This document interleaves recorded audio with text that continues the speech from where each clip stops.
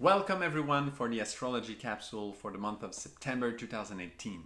There will be many very important aspects. First of all, um, you remember how Saturn is accompanying the full moon since about six months. Well, September is the last of those months. So, um, and it, it's it's very strong. It's going to be in square. So Saturn will be in Capricorn. It will form a square with the moon in Aries and with the Sun, which will be in conjunction with Mercury in Libra. So it will be a square this time, so a very strong tension, but it will be a very beneficial tension because it will bring our awareness to that connection with Saturn. And believe it or not, Saturn will uh, pass it on to Uranus to accompany the full moons. Yes, Saturn and Uranus are in forming a trine since a while and they are tuning themselves together because Saturn was retrograding. He's been he stopped recently and he's he's starting to be direct again. And um, Uranus on his side will start retrograding. Uh, well, he already started at this point um, to retrograde. So he will actually take the lead into following the full moon's degree. Huh?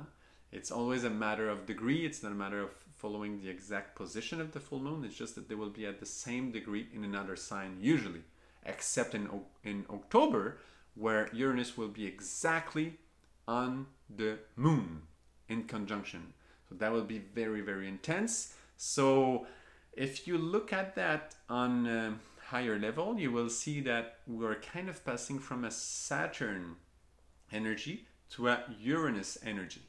And this is a really solid shift. We're going from personal karma energy, personal uh, destiny energy, Saturn with his wisdom, but also his um, he's very rigorous. He's very um, very um,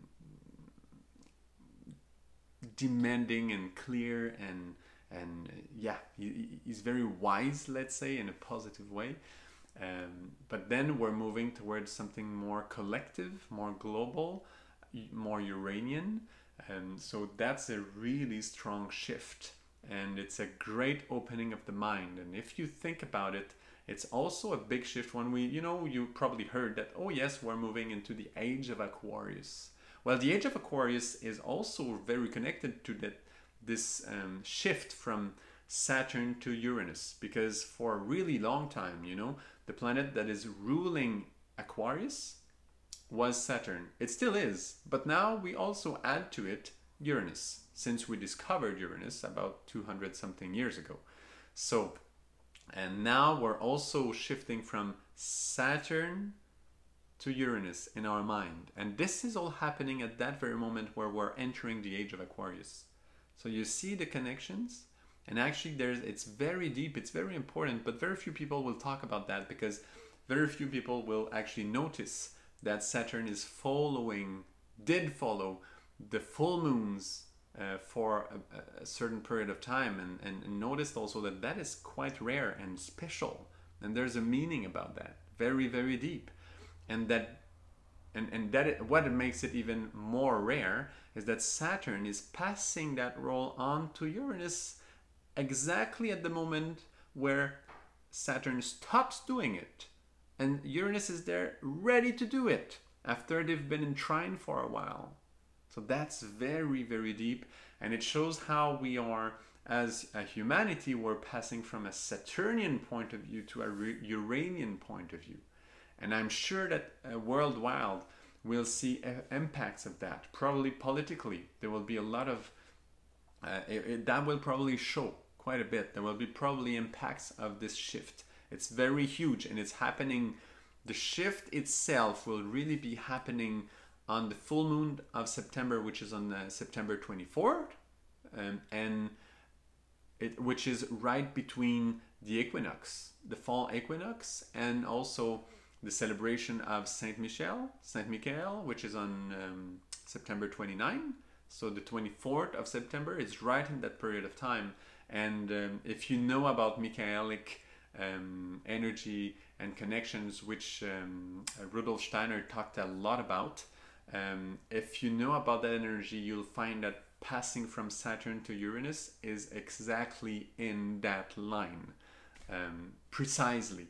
So that is very, very strong. And this moment, the equinox of the fall equinox this year of 2018 is very, very important. Um, it's a very important moment.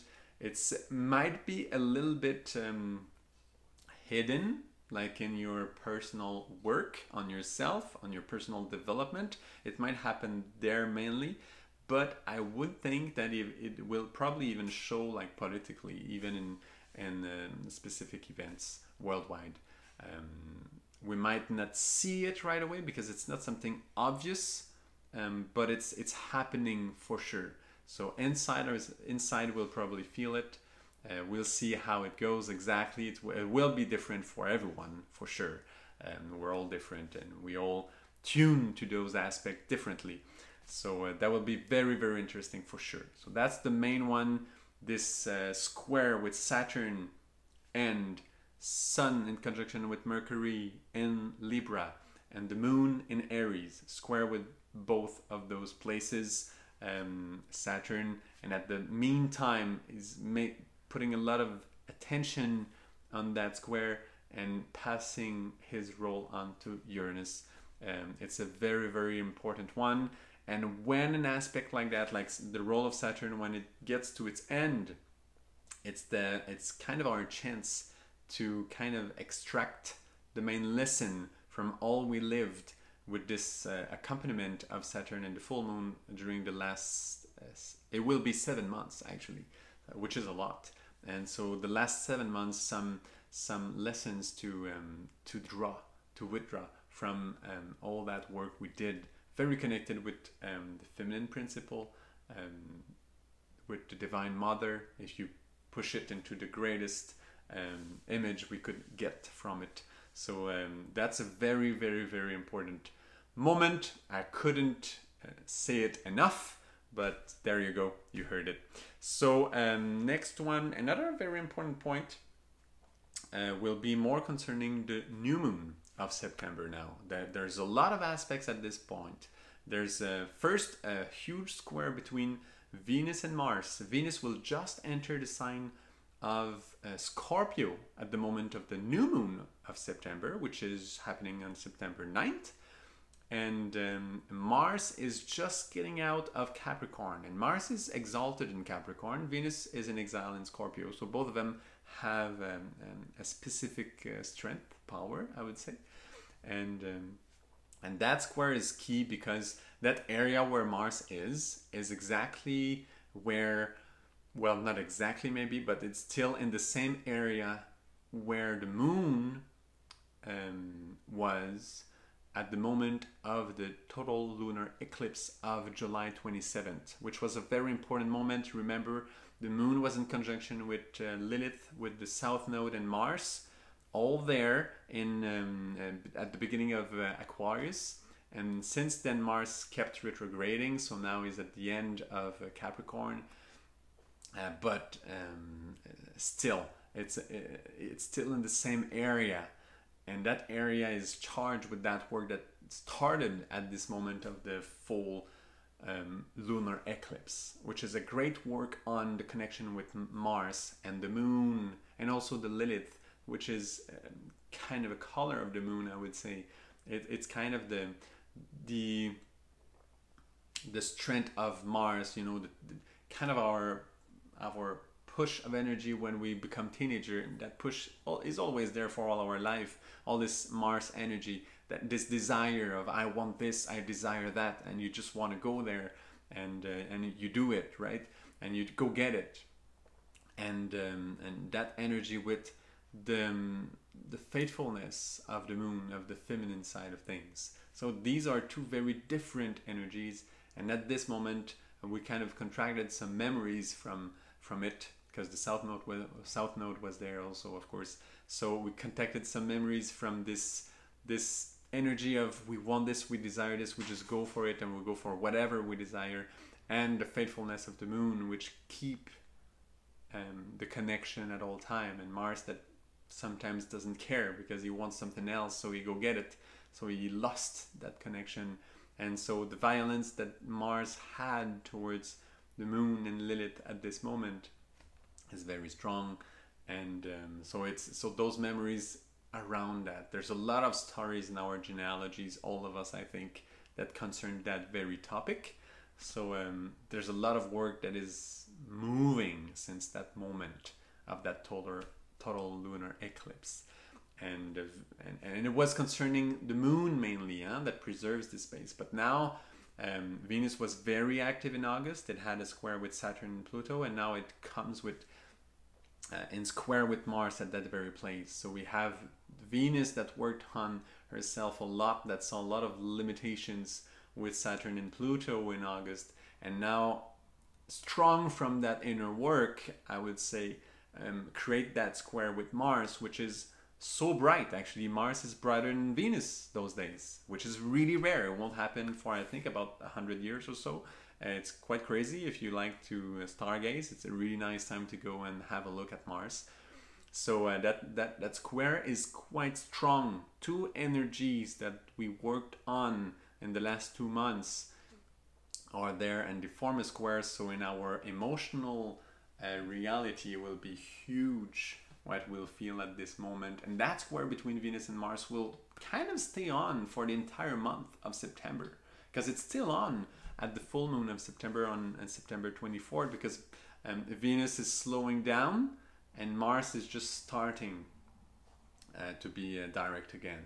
So um, they kind of follow each other for a while then venus will retrograde and mars will keep going. So they will even get back to forming a trine, uh, which is 30 more degrees. So they will kind of create um, a bigger gap with time. But for the month of September, they will stick to each other quite a bit.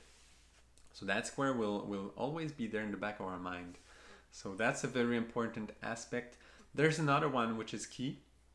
It's a great blue triangle formed with three trines um, that are made uh, between um, Saturn and Uranus, which follow each other since quite a while. And this time we had the same thing with the Sun at the full moon of August during the um, actually during the the the the, the, the, the, the um, yeah that full moon of August. so we had that same great blue trine, but it was with the Sun. Now this time at the new moon of September, it's with Mercury. Uh, so it gonna it's gonna touch our mentality our mind. it's gonna even touch our mind this time. And this is actually the work with Saturn and Uranus that are in trine, and this is already preparing um, the, the it's preparing the, the ground, right? Our inner ground for that switch from Saturn to Uranian energy, Saturnian to Uranian energy.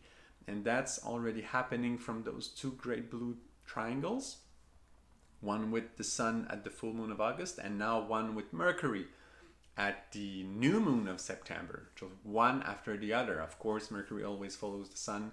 Um, so, and those two, remember, both Sun and Mercury will be in conjunction at the full moon of of September that we just talked about. So this is very important because um, it's preparing the ground and it's going to be um, mercury will be in virgo so very strong you know mercury in virgo it's exalted and also ruling the sign so very strong. And it all really shows how this um, passage of energy from saturnian to uranian following the full moons remember what we just talked about? Well it will also touch our mentality our mind and we see it from that great trine. It's very nice how it's all uh, set for us. So that's a really important one. And there's another main aspect, very important. It's a kind of a series of sextiles that even form trines because when you have many sextiles following each other, you have trines because two sextiles forms a trine. so uh, it starts with Sun and Moon in Virgo, and then it forms a first sextile with Jupiter in Scorpio, then a second sextile with Pluto in Capricorn, and another one with uh, Neptune in Pisces. So it's all this, the, the last signs of Earth and Water from Virgo to Pisces. All of them are involved. and they form sextiles like these and trines as well, of course, between Sun and Moon and um, and Pluto, and same thing goes for Neptune and Jupiter. So uh, very harmonious, really connecting the Earth signs and the water signs together. So all this feminine aspect, all this, all our femininity, because uh, water and earth signs are all very feminine, more, more receptive. So, um, so all of those will be connected through very beautiful planets. If it's very harmonious, so it's really uh, creating a, a, base that allows us to live the, um, the tension that will arise from the square with Mars and Venus, which we just talked about. So that's very nicely set. A lot of energy in August. I think um, that tells you most of it. So thank you very much for the, your time. And again, of course, you can like, uh, subscribe, and all that. If you have comments, please write them. If you want me to talk more about whatever topic, you can ask it in the comments. I'll be happy to do it in future capsules and so on. I can also answer from your comments and so on. So, uh, yeah, wonderful. Thank you so much and see you next time for the month of October.